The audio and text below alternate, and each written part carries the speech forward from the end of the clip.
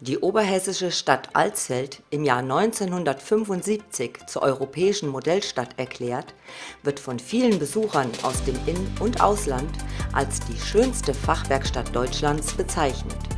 Über 400 Fachwerkhäuser aus sieben Jahrhunderten mit dem weltbekannten Rathaus zeugen von alter Handwerkskunst. Bewahren, pflegen, sanieren, das ist in Alsfeld die Devise.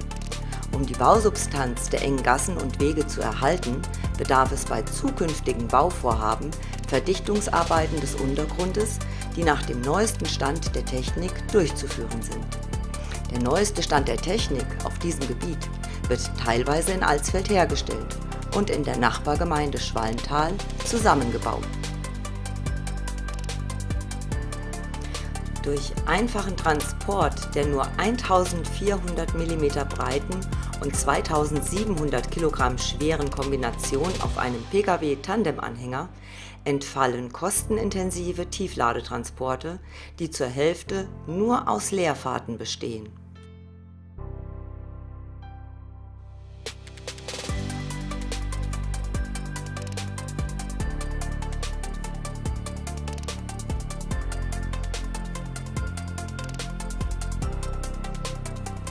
Gerade für enge Baustellen mit denkmalgeschützten Häusern in der Umgebung ist die kleinste Kombination Sterplattenverdichter SBV 80 HC2, angebaut an einen Kramer 5035 mit High-Flow-Hydraulik, beim Verdichten von rollig-kiesigem Material allen anderen bekannten Verdichtungsgeräten bei weitem voraus.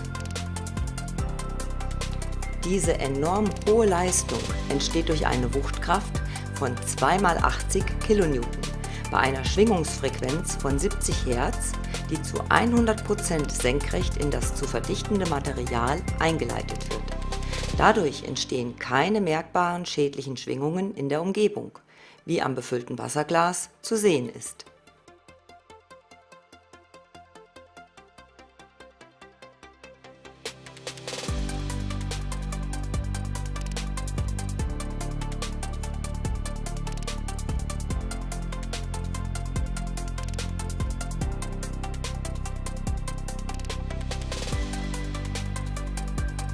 Eine von Stehr entwickelte Verdichtungskontrolle informiert den Fahrer immer über den Verdichtungsvorgang. Somit lassen sich unnötige Zeit- und kostenintensive Überfahrten vermeiden. Mit einer Motorleistung von nur 27 kW und einem Kraftstoffverbrauch von nur 4 Litern pro Stunde wird durch die europaweit patentierte Stehrerfindung eine Energieeffizienz und Schadstoffbilanz dargestellt, die mit keinen anderen Verdichtungsgeräten zu erreichen ist.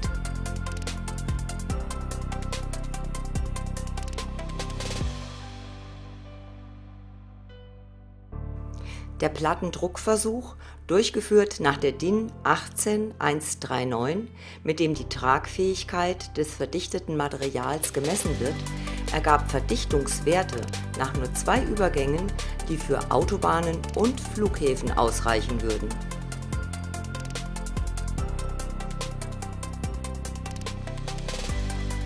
Qualität und Wirtschaftlichkeit der Ster-Plattenverdichter in vielen Varianten überzeugen immer mehr Kunden auf der ganzen Welt.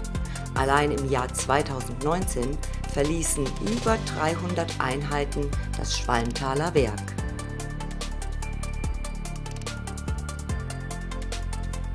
Weitere innovative Sterideen finden Sie unter www.steer.com und Videos unserer Maschinen im Praxiseinsatz unter www.steer.tv.